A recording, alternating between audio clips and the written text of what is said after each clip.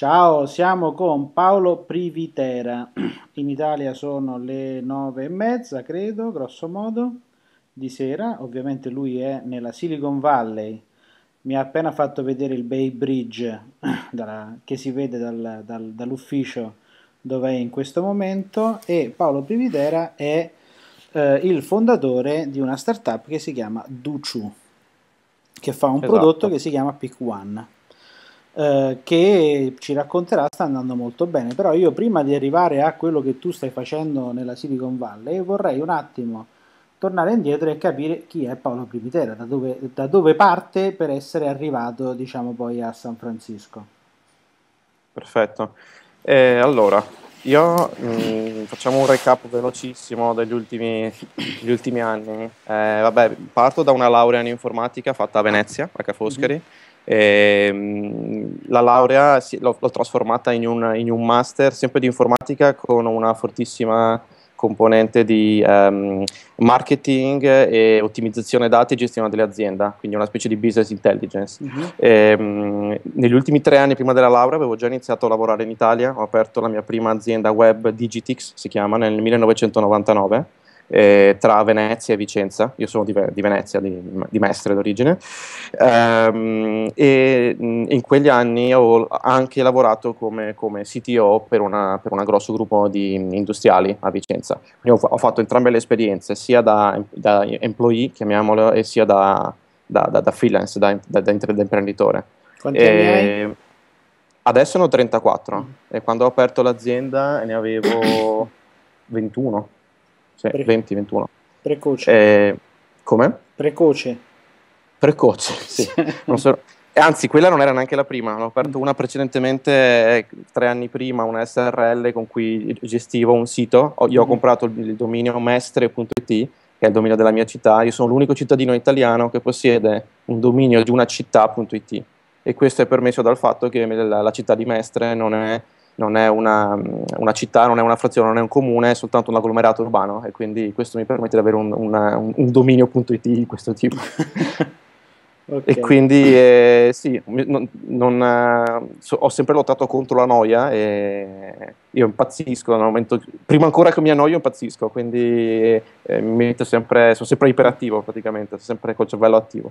E, ehm, poi nel praticamente gli ultimi tre anni prima della laurea eh, già avevo capito che, che, determinate cose non mi piacevano, cioè praticamente io già appena aperta l'azienda cercavo la corsia di sorpasso che non ho trovato in Italia, anzi, eh, pur essendo stato, eh, avendo già avuto molte soddisfazioni perché comunque a 21 anni avere una piccola azienda con 3-4 persone, con clienti di anche di un certo tipo non era assolutamente male quindi eh, ho avuto un'esperienza ottima in Italia a quel tempo, però ugualmente sono rimasto molto ehm, diciamo, rallentato da, da, dalle stesse entità con cui lavoravo, fatture pagate quando volevano, eh, ovviamente ero troppo giovane, questi, il problema è che mh, mm, non mi davano così tante responsabilità, pur dimostrandole in concretezza non, non avevo l'età per farlo, volevano una persona più, più, con più anni. Quindi nell'aprile eh, del 2002 eh, 12 giorni dopo la laurea io sono fuggito, sono, eh, mi sono licenziato dall'azienda italiana, quella in cui lavoravo, eh, ho mantenuto aperto la mia azienda, ho fatto un'esperienza di tre mesi a New York con l'idea di fare una specie di vacanza post laurea. Dopo tre mesi eh, l'idea era tornare in Italia, non avevo idea di, tornare, di stare in America. Ehm, sono rimasto folgorato dalla città che già comunque mi aveva colpito per vacanza e ho deciso di rimanere un anno ehm, estendendo continuamente la mia, la mia permanenza. E, soltanto che a New York nel 2002 non era semplice, era dopo 9-11, quindi la città non si era ancora ripresa del tutto, lavori non c'erano neanche per gli americani, quindi è successo che ho trovato una, una, un internship, diciamo una, una specie di eh, lavoro di prova eh, presso un'azienda italiana a Los Angeles. Ehm, io non volevo andare a Los Angeles, ma ho accettato pur di mettere qualcosa a curriculum e quindi eh, a quel tempo avrei fatto di tutto per rimanere negli Stati Uniti eh, e quindi mi sono trasferito a Los Angeles con l'idea di mettere questa cosa a curriculum, stare lì 3-6 mesi e dopodiché eh, Los Angeles mi ha trattato così bene che sono rimasto senza rendermene conto quattro anni. Nel 2004 ho comprato una casa, che è il primo mutuo, io avevo 24 anni e, e ovviamente diciamo, chiedere mutui negli Stati Uniti è ovvero più semplice che farli in Italia, però al tempo stesso mi sono costruito un certo profilo di credito per poter accedere a questa, questa possibilità, pur non avendo così, enough cash per fare l'operazione. Eh, nel, niente, sono rimasto 5 anni a Los Angeles, durante i quali ho creato la Digitix Corp, la, la, la, la corporation americana. Eh, abbiamo costruito eh, più di un centinaio di, di, siti alla fine, facciamo web development e, e, negli anni mi sono specializzato anche nella, dal punto di vista del, della business eh, proprio strategy per i clienti in cui lavoravamo. Nel 2005 eh, ho deciso di continuare a studiare, ho, preso, ho fatto un master a, in marketing a UCLA, all'Università di Los Angeles, uh, e nel uh, 2007 eh, mi sono trasferito a San Francisco, eh, pur avendo avuto già un paio di richieste da aziende come Google nel 2003 e 2005 che io intelligentemente ho rifiutato. Eh, vabbè, sono errori che si fanno, ma non ho regretti di nessun tipo. Um, in quei quattro anni a Los Angeles ci tenevo a sottolineare un paio di cosine. Ho lanciato un social network che si chiamava Keeple, K-E-Y-P-L-E, che sta per Key People, persone chiave. Um, praticamente li, avevo dei clienti che chiedevano del, del, dei social network privati. Um, quindi anziché costruirne ad hoc per ognuno, ho pensato di costruire un framework e di customizzarli per ognuno. E così, così ho fatto. Solo che nel durante, nel durante, ho pensato che se questo framework l'avessi automat- automatizzato così tanto da avere utenti che potessero crearsi con un click il proprio social network con un dominio di terzo livello, un dominio proprietario, con il loro logo e montando un template semplicissimo, io potevo praticamente avere, ehm, costruire quello che poi è diventato Ning poco dopo. Um, solo che l'idea l'ha portato ancora, ancora più là. Um, volevo che tutti gli utenti eh, registrati a questi siti, eh, seppur registrati a siti privati, avessero una unico ID tale per il quale potessero loggarsi anche nei social network degli altri, degli altri creatori di questi siti eh, come se fossero siti della grossa piattaforma. Quindi alla fine era una specie di um, aggregatore eh, cross login di, di, di, di, social network. Eh, l'ho, l'ho, presentata come idea a UCLA ho vinto diciamo, il, il, primo premio um, come idea più innovativa dell'anno tenendo anche presente che a Los Angeles non ci sono molte startup di tecnologia rispetto a San Francisco, diciamo che eh, ho, avuto la strada forse un attimo più semplice, comunque è stata una soddisfazione incredibile, eh, professori interessatissimi al progetto, l'ho lanciato, abbiamo avuto un migliaio di utenti che si sono iscritti subito direttamente nel campus. Uh, in quei giorni, eh, mentre ero in ufficio, ehm, vedo una, una marea di, di, di, giornalisti di tv che girano per la, questo co-working space che affittavo a Los Angeles e chiedo cosa succede e mi dicono eh sì MySpace è stato acquisito. Faccio ok ma perché, My, perché la gente è qui? E mi fa perché MySpace eh, Tom di MySpace è il tuo vicino. Praticamente io il mio vicino next door d'ufficio era, era MySpace che si chiamava Intermix Inc eh, e in quel giorno è stato comprato per 503 milioni di dollari dalla Fox eh, questa cosa mi ha segnato nel senso che mi, mi ha anche spaventato ho detto praticamente hanno sbagliato porta, dovevano venire da me a prendere questi soldi. E questa cosa a quel tempo io non ragionavo ancora da, da come si chiama, eh, da imprenditore da Silicon Valley in cui vedevo il mercato in una certa maniera. Quindi ho pensato, se spesso è stato comprato io non avrò mai spazio. Eh, quindi ho pseudo abbandonato il progetto, eh, stupidamente, ehm, ho venduto altre licenze per, per, la, per, la, per, la, piattaforma, ma alla fine eh, non ho avuto poi mh, risorse e tempo per portarlo avanti. Eh, la cosa che mi, che, diciamo, eh, che mi, ricordo ancora è che quel tempo, quando l'avevo lanciato, il sito aveva le stesse funzioni di, eh, di Facebook. Avevo Add to Friends, avevo i post wall, avevo foto, avevo eventi um, e, e, nulla. Poi nel, nel, nel 2007 mi sono trasferito in Silicon Valley, ho aperto il secondo ufficio, ho deciso di mantenere l'ufficio di Los Angeles Eh, ho aperto il secondo ufficio, tutto ciò, eh, il pretesto di trasferimento è nato da un cliente che mi ha chiesto in ginocchio di prendermi a cura della, della sua azienda dal punto di vista del web marketing, dal punto di vista della, della, diciamo, della strategia proprio di, eh, che ci sta dietro. E eh, un anno dopo, un anno e mezzo dopo, eh, decido, e dopo 54 voli andata e ritorno San Francisco-Los Angeles, decido di um, chiudere l'ufficio di Los Angeles. Tra l'altro, eh, molte persone avevano cambiato location, alcune sono andate a San Diego, altre sono trasferite da altre parti, quindi ehm, non aveva più senso pagare una struttura di quel tipo. Ehm, e ehm, ho trasformato un po' il tipo di servizi che offrivo come azienda. Sono passato da offrire servizi ad aziende non di tecnologia a offrire servizi a ditte di tecnologia, cioè startup. Quindi ho ehm, puntato più sulla qualità del, del, del, del prodotto eh, che sulla quantità. Quindi eh, tutti i lavori custom ehm, e i clienti erano startup. Mm-hmm. E ho iniziato a lavorare con, con circa 5-6 startup, alcune di queste mi hanno anche offerto, ehm, oltre che cash, sweat equity, quindi, quindi praticamente un pezzettino dell'azienda. Um, e eh, ho imparato tantissimo, praticamente in tre anni ho, ho, fatto una, un crash course su uh, How to Silicon Valley. Um, networking events ogni, ogni, giorno. In Silicon Valley ci sono attualmente più di 100 eventi a settimana di tecnologia, ovviamente specializzati in vari topic e in varie location della, della, della zona.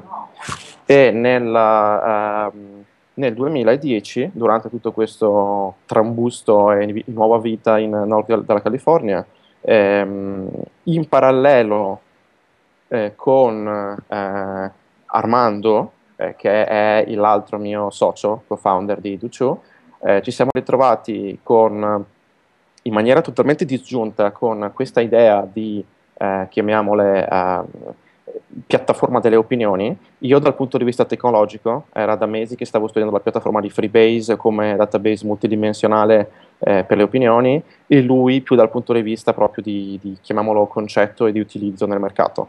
Eh, una persona nel 2009 che combinazione è, è lo stesso Max Ventimiglia di, di H-Art che conoscevo già da anni, ci ha messo in contatto, eh, avendo sentito entrambe le campane, e ehm, nel 2010, dopo sei mesi di pseudo due diligence tra me e Armando sul, sul da farsi, abbiamo aperto la eh, Duchu Inc.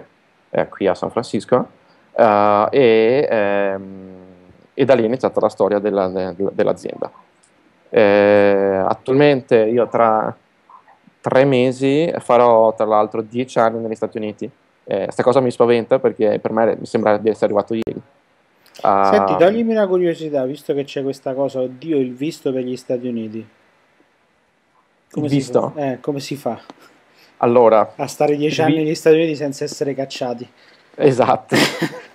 allora, il visto, questo sconosciuto. Um, allora, il visto è, è spaventa questo lo vedo, ha spaventato anche a me eh, più volte. Eh, però devo dire una cosa, se uno vuole stare negli Stati Uniti eh, il visto si trova.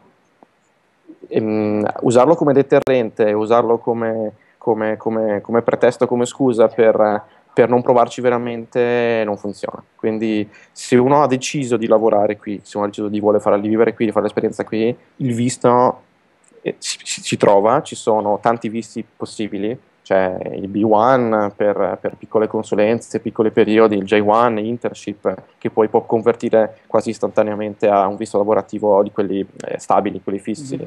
il H1B visto da employee, il 2 visto da investitore, il 1 visto da eh, colui che sposta beni ehm, tra i due stati, beni fisici. Um, ci sono visti come L1, se tu lavori per una ditta italiana vieni trasferito di qua, ci sono decine di visti, ognuno con vantaggi e svantaggi, ognuno, ehm, ci sono due tipologie grandi di visti, ci sono i visti da eh, immigrant e i visti non immigrant. I visti immigrant sono quelli in cui tu ufficialmente diventi un employee di un'azienda americana e che significa che in quel momento tu diventi un immig- immigrante o immigrante, dipende da dove lo vedi a tutti gli effetti. Um, gli altri visti, eh, io per esempio ho questo um, E2 visa da ormai dieci anni, eh, lo puoi rinnovare illimitatamente fin tanto che hai un'azienda negli Stati Uniti che sta crescendo. Um, tra l'altro, i visti non immigrant, è, i vantaggi sono che sono abbastanza semplici da ottenere perché la decisione finale la prende esclusivamente il console dello Stato tu, di cui tu um, sei cittadino. Eh, quindi mh, ci puoi parlare, non hai le forche caudine dell'immigrazione americana che sono abbastanza ostiche. Lo svantaggio è che i visti non immigrant cioè quelli che ti lasciano, eh, ti rilasciano i consolati italiani in questo caso, non ti permettono di arrivare naturalmente alla green card. Ed è il motivo per cui io dopo dieci anni io non ce l'ho ancora. Ovviamente mi ero preso, quindi, no, sapevo scusami, di questo. Abbi pazienza, quindi è il console italiano? Non è il console americano in Italia? No, è il co- scusami, io intendevo il console americano in Italia. Ah, cioè, ok, mi sembra. Il console, sì. No, no, no, no. sono stato americano in Italia. Sì, okay. eh, io adesso quest'anno eh, sto applicando per la green card tramite un altro processo, ci sono vari procedimenti per arrivare alla green card. Um, e, e, ci sono procedimenti immigra- immigrativi che io appunto non posso utilizzare perché non ho visto immigrativo, eh, visto che ho fondato la mia stessa azienda. E, e, ci sono procedimenti, vabbè, se ti sposi una, una, un'americana, ovviamente la ZISI, ci sono altre strade che sono eh, quelle definite special skills o per merito. Significa che nel mio caso sto applicando, mostrando li- tutta la lista di accomplishment che io ho avuto durante questi dieci anni, con casi concreti, con press, con articoli. Tra l'altro mh, giocherò molto sul fatto, ho costruito un software insieme ad una, un altro eh, socio al- anni fa, si chiama City Permit, ed è un software per gestire i permessi costruttivi delle città californiane con meno di 25.000 abitanti. Quindi io tra i miei clienti, eh, cioè la Digitix aveva spedito fattura a, eh, alla California. Quindi io mi giocherò questa piccola cosa come un ho fatto qualcosa per la California. Um, quindi sto, um, come si chiama, gathering, sto raccogliendo uh, uh, carte praticamente per, okay. per dimostrare questo eh, se sono fortunato riesco ad avere la fast lane per questo e quindi in teoria entro 3-6 mesi potrei addirittura avere la, la green card. Bocca al lupo. Eh, crepi. crepi, Senti, crepi. allora adesso arriviamo a, a, a Duciu, quindi eh, tu fondi Duciu insieme con Armando Biondi. Con Armando Biondi e con supporti economici esterni? Allora, eh, inizialmente abbiamo messo eh, sweat equity entrambi, Uh, giusto per, per, per, la prima parte di due diligence. Eh, appena aperto la Inc. abbiamo eh, fatto tutti e quattro un investimento, quattro chi? Io Armando più altri due soci. Eh, non faccio adesso un discorso di nomi pubblici perché, perché, per vari motivi, ad ogni modo eh, per chi fosse interessato possiamo spedirvi la presentazione per investitori, c'è, c'è, dentro tutto. Um, an- abbiamo versato in totale come first shot eh, 150.000 dollari mm-hmm. eh, versati eh, qui nella Inc. americana, eh, tutti e quattro i soci. Ehm, e eh, nel, un anno dopo, quindi nel 2011, abbiamo fatto fundraising complessivo e abbiamo raccolto circa altri 175 mila dollari. Okay. Quindi più altri piccoli micro round di eh, tutto, il primo shot era in equity, eh, il secondo shot, il terzo shot, i terzi eh, altre versate ehm, erano state fatte in convertible note, mm-hmm. quindi per un totale abbiamo raccolto più o meno 400 mila dollari oggi. Um, hai tu domande o vado avanti io? E come stai andando? Cioè adesso, ok, va bene, quindi avete le risorse sostanzialmente per lavorare, ok, quindi per costruire un minimo di team, eccetera, e per cominciare a vendere, no? Che poi la, la cosa fondamentale che uno deve, no? Cioè la, eh, la traction, no? In questo caso tu esatto. fai un servizio B2B, quindi la traction è c'ho il cliente. Esattamente. okay. Ora, allora, sì, non è proprio stato così semplice per me. Eh? allora, è successo così. Eh, noi abbiamo l'idea di costruire una, una, una Wikipedia delle opinioni, che poi Wikipedia è per spiegarle in maniera semplice, in maniera un pochino più sofisticata, l'idea era costruire un freebase delle opinioni. Mm. Il freebase non è altro che questo database multidimensionale ad accesso pubblico leggibile anche tramite API e tramite query, con cui tu puoi interagire con la base di dati, che però ha anche un front-end molto semplice con cui interagire. Mm. Eh, su Freebase si trovano oggi le, tutte le informazioni che trovate su Wikipedia, con la differenza che le informazioni le puoi cercare tramite query e ottenere risultati strutturati che tu puoi inserire nei tuoi database, nelle tue, tuoi, nelle tue applicazioni, eh, nei tuoi siti. Um, questa era la base di partenza. Però questa base di partenza, in gergo tecnico, un database simile, eh, una piattaforma simile si chiama Enabling Technology, non è un prodotto. Quindi, seppur abbiamo avuto una, una, una buona traction iniziale ai primi pitch, ai primi eventi fatti, noi questa roba non potevamo venderla, seppur fosse figa. Quindi eh, l'idea era di costruire un um, layer di API su cui costruire dei prodotti i cui prodotti potevano essere venduti e utilizzati e fare mm. revenue. Eh, li, per stimolare i developer, l'idea era costruire noi un paio di prodotti, mostrare come funzionava e poi sperare di disrupt. Eh, abbiamo costruito il primo prodotto eh, a quel tempo, si chiamava CouchIn, couchin.com, c'è ancora il sito, tra l'altro la landing page, non è altro che una, una Foursquare per i film.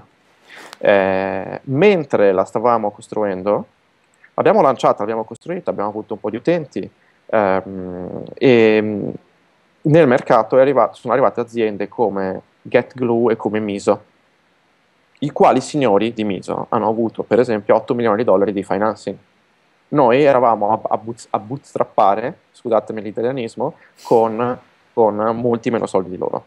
Eh, con la differenza che loro non volevano, eh, volevano soltanto fare check-in dai film. Noi volevamo usare il pretesto del check-in dai film per chiedere a chi guardava il film le opinioni sul film stesso. Mm. Eh, tristemente, dopo circa uh, sei mesi, eh, abbiamo ucciso il prodotto perché non avevamo abbastanza risorse per poter sostenere la, chiamiamola, competizione frontale.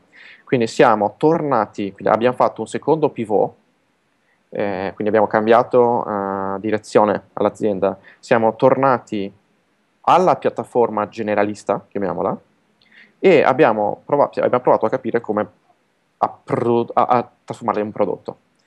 Eh, l'illuminazione è arrivata eh, a cavallo tra il 2010 e il 2011, mentre tra l'altro io ero a Las Vegas, al CES, dove vado ogni anno da vent'anni ormai, ehm, dove ho avuto modo di assistere al pitch di Sir Martin Sorrell, fondatore di VPP, mm-hmm. il quale signore combinazione si era comprato qualche anno prima ai chart, azienda per la quale combinazione avevo iniziato a lavorare nel 2011 in Italia in questa, tutto, tutto, ciò, eh, giusto per ricordare, nel 2011 ehm, tra il team italiano di Duciu, eh, che era in Italia, che è in Italia, e tra questa, questa idea di riscoprire l'Italia dopo otto anni all'estero, ehm, ho accettato questa splendida offerta fatta da Max e eh, appunto alla fine ho, ho, passato più di metà anno in Italia facendo commute ogni, ogni mese tra Italia e Stati Uniti. Ehm, quindi il, il pitch del signor Sorrell era un pitch ehm, al pubblico fatto su come si, per spiegare come si fa oggi eh, marketing digitale mm-hmm. e il suo pitch non era altro che il pitch di Duciu. Questa cosa ovviamente mi ha emozionato. Praticamente lui ha spiegato quello che volevamo fare noi con parole di una semplicità incredibile e sicuramente molto molto commerciali. Noi fino a quel momento facevamo pitch e ragionavamo da geek, da nerd, da developers, da technology, non ragionavamo da mercato o da cliente o da, o da, o da Quindi noi abbiamo utilizzato il modo in cui lui ha proposto l'idea, ha proposto il concetto, cioè lui aveva detto ehm, il market research in primis tradizionale si faceva eh, chiedendo alla gente cosa pensava cioè studiando i comportamenti della gente, prelevando queste informazioni, portandole in house nelle aziende e le aziende con market research potevano costruire un migliore prodotto e fare marketing del prodotto. Solo che questi cicli pre- pre-internet o pre-real time erano cicli lunghi, 3-6 mesi, un anno, e spesso, mh, siccome il mondo cambia molto velocemente, il messaggio che arrivava era ormai shiftato di molti mesi. Grazie alla tecnologia di oggi tu puoi chiedere alle persone in tempo reale domande, opinioni, avere un feedback in tempo reale e il pretesto stesso di chiedere alle persone cosa pensano di un certo brand, di un certo prodotto, diventa strumento di marketing certo. se stesso. Um, quello che è definito oggi user engagement, quindi fai il coinvolgimento degli utenti. Quindi il nostro prodotto, eh, P1, che poi abbiamo appunto eh, l'idea era di più prodotti, alla fine abbiamo scelto di fare il prodotto al terzo pivot, che si chiama P1, prodotto da, da, da, da Tucciu ovviamente, ehm, che eh, assolve a queste due funzioni. Eh, market research, quindi eh, survey, poll che puoi chiedere a, agli utenti ehm, e eh, la parte di user engagement, quindi digital marketing, quindi, quindi fare traffico, generare traffico e quindi arrivare a, a, al sales e poi al retargeting, um, retargeting al sales. E, ehm, ovviamente, eh, detta raccontata così, eh, le prime risposte erano ci sono tanti, tanti altri prodotti che fanno marketing, eh, che fanno cose simili a noi. È corretto, infatti noi ci siamo specializzati in, in, due, in due componenti. Una è la componente del dato, cioè noi abbiamo costruito il framework con questo, in caso specifico, con MongoDB, quindi con un database multidimensionale eh, molto veloce che permette di salvare dati ehm, con eh, dei dataset, quindi delle strutture dati elastiche ehm, e querabili tramite API, quindi una specie di famoso freebase o Wikipedia delle opinioni. Dal punto di vista invece di, chiamiamolo, usabilità e front-end, eh, abbiamo anche un patent pending su questo, riusciamo ad estrarre dall'utente che, un, che vota qualcosa che oggi è banale, ma a cui, a cui nessuno o pochi avevano pensato. Cioè nel momento in cui tu voti, se tu voti facendo un social login come un Facebook Connect, un Google Connect, un, un LinkedIn Connect, io riesco a sapere istantaneamente chi sei. Certo. Sembra banale, solo che applicato al mondo del marketing research evidentemente eh, non siamo stati molti a averlo pensato. Um, noi attualmente quindi abbiamo questo nel mentre, quindi dopo il pivot eh, a, a, diciamo, a, che stava accadendo da gennaio del 2011 in poi, avevamo pensato facciamo un focus su un tool da inserire nei social media, quindi arrivare dove sta veramente la gente, dove vive la gente, quindi arriviamo quasi al behavioral perché si arriva quasi al behavioral, ehm, arriviamo dove sta la gente. Ehm, mentre facevamo questo e mentre avevamo ehm, eh, diciamo, iniziato a fare, fare, nuovi pitch pubblici eh, e blog, testi, abbiamo iniziato ad avere una, una grossa, ehm, come si chiama, eh, presenza nel, nella press e eh, alcuni brand ci hanno contattato. Tra questi brand abbiamo avuto questo contatto, tra l'altro tramite i chat, con Ikea, che aveva bisogno di esattamente di quello che offriamo noi. Aveva bisogno di uno strumento per fare sondaggi dentro ai loro social, alle loro social properties, quindi dentro la loro fanpage e dentro la loro, um, come si chiama, uh, social network privato che si chiama Emma Ikea. Quindi Ikea è diventato il nostro primo cliente che però era un cliente anomalo perché noi non volevamo vendere big brand, volevamo vendere, avere un tool autoinstallante che potesse essere utilizzato sia dall'utente che dalla, dalla small and medium business, piccola azienda o dalla, dal, dal grosso brand. Il fatto di essere andati da Ikea e poi successivamente da altri brand ehm, come Toyota ehm, oppure come prima ancora abbiamo avuto Amnesty International ehm, ci ha rotto il nostro business model perché noi volevamo fare praticamente B2C o meglio B2B2C o meglio ancora B2C autoinstallante, ci siamo trovati un B2B che ci ha chiesto un servizio. Mm. Noi non avevamo neanche la struttura per andare da questi clienti, eravamo un gruppo di developer con un po' di manager che gestivano i processi di sviluppo, ma non gestivamo i processi di vendita. Quindi ci hanno chiesto un servizio e non volevamo vendere un prodotto. Ovviamente abbiamo pensato di dire di sì, non puoi dire di no a questi brand mentre sei in bootstrap. Certo. Uh, e questi brand ci hanno validato. Quindi alla fine è stato tutto un, un successo enorme perché eh, adesso ci, questi brand ci hanno validato e ci hanno dato una mano ad affinare il prodotto e a distanza di circa 5 mesi dal, dal, dal prima, dalla prima richiesta, adesso ci troviamo con abbiamo ripreso a costruire il prodotto autoinstallante, di cui ehm, sul sito pick1.com, dove abbiamo per ora ancora una landing page molto molto semplice, perché non abbiamo tempo di ancora fare comunicazione appropriata, mm-hmm. abbiamo un'alfa dello strumento che IKEA sta utilizzando come private label. Mm-hmm. Um, questo strumento sarà, sarà, affinato nelle prossime settimane dove abbiamo avuto già eh, migliaia di richieste da small and medium business e da utenti. Abbiamo una sign up page, abbiamo una, chiama, una, sai, un beta request form dove gli utenti possono diventare beta user, abbiamo quasi un migliaio di richieste, eh, più sporadiche, siti americani, italiani, francesi, brasiliani, e abbiamo eh, una lista di oltre 250 grosse aziende in Italia in UK, in Brasile, negli Stati Uniti e in Cina che ci hanno chiesto di um, comprare la nostra piattaforma. Quindi eh, in, parallelo, in parallelo la cosa, il prodotto così presentato è diventato così, chiamiamolo trendy e così caldo, ehm, che eh, due aziende eh, di market research ci hanno proposto di non solo diventare partner, e con uno lo siamo diventati, ma ehm, addirittura un'acquisizione. Eh, si parla di eh, un'azienda del gruppo di VPP, si chiama eh, TNS, che è la più grande market research company del mondo.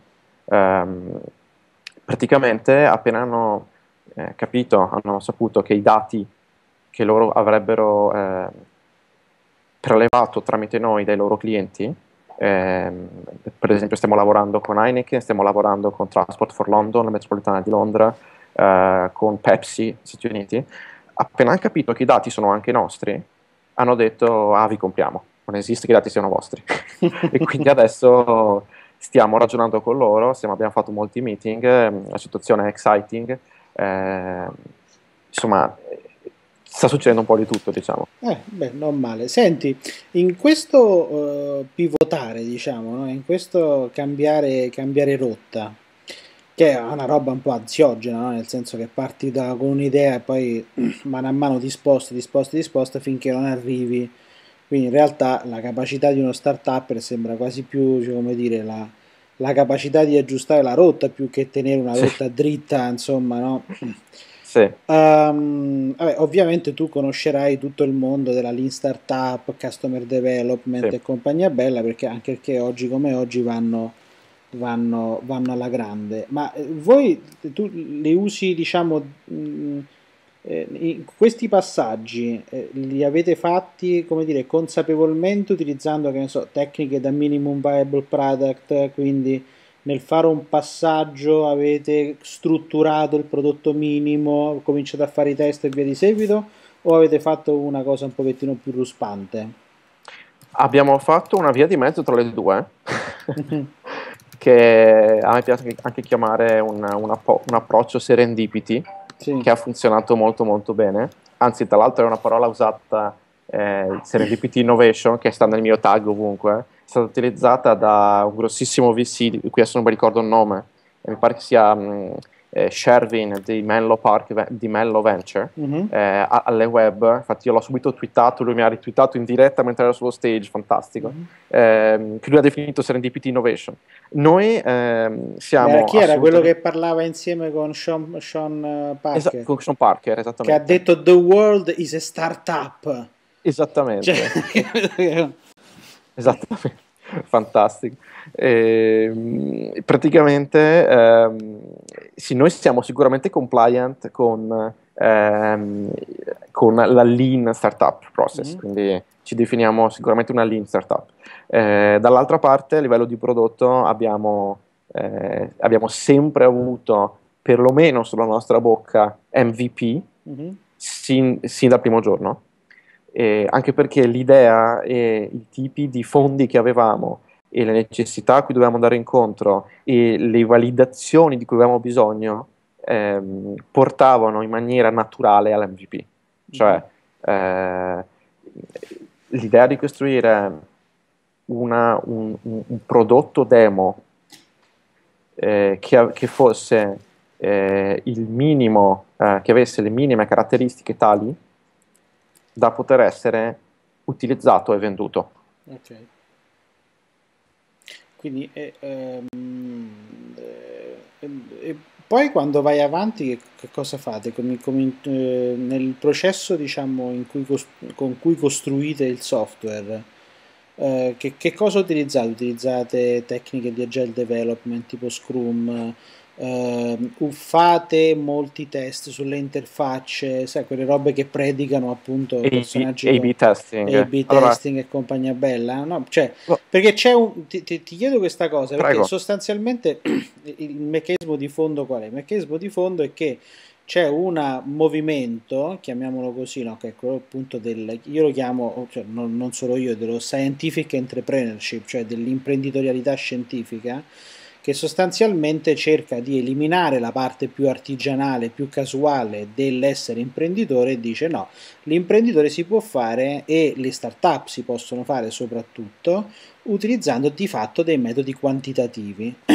Quindi test, dati, dati, dati, dati a morire, molti test e poi si decide, si impara e si decide. Quanto a questa cosa assomiglia a quello che fate voi?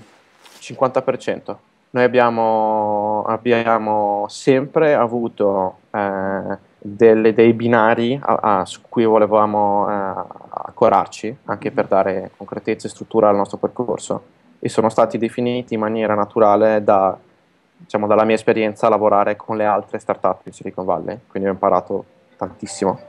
Um, e quindi eh, si parla di MVP, si parla di startup, si parla di eh, avere un minimo di business plan strutturato, che poi sono executive summary, una specie di Excel file dove è sempre chiaro le variabili a cui tu vuoi arrivare, quindi sempre numeri.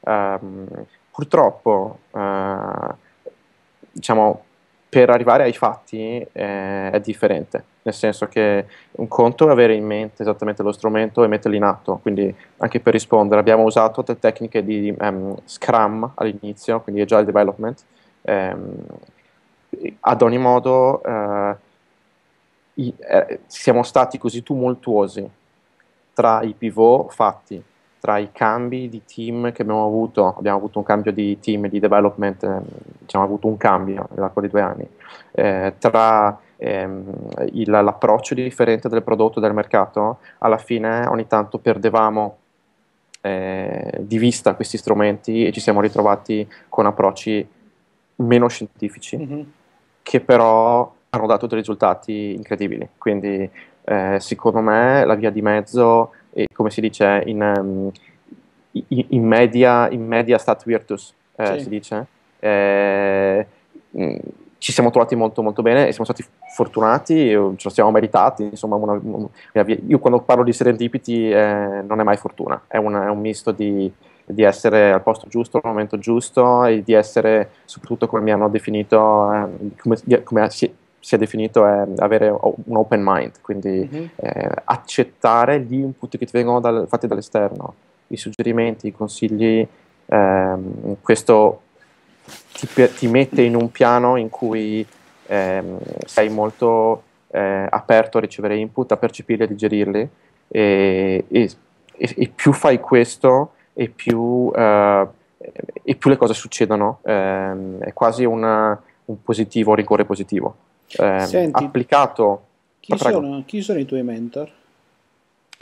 Eh, ho avuto vari mentor nel, nel, nel, negli anni. Ho avuto i mentor uh, primi a Los Angeles, eh, un imprenditore, anzi due imprenditori italiani eh, che hanno di successo hanno fatto tutt'altro nella vita, non hanno fatto tecnologia, hanno fatto vendite di prodotti eh, italiani all- all'estero e mm, sono eh, anche abbastanza diciamo, famosi, Uno, sono entrambi specializzati nel mondo del design, che tra l'altro è più una mia passione, uh, e loro mi hanno dato una visione molto imprenditoriale, generalista e etica di approccio alla, al lavoro.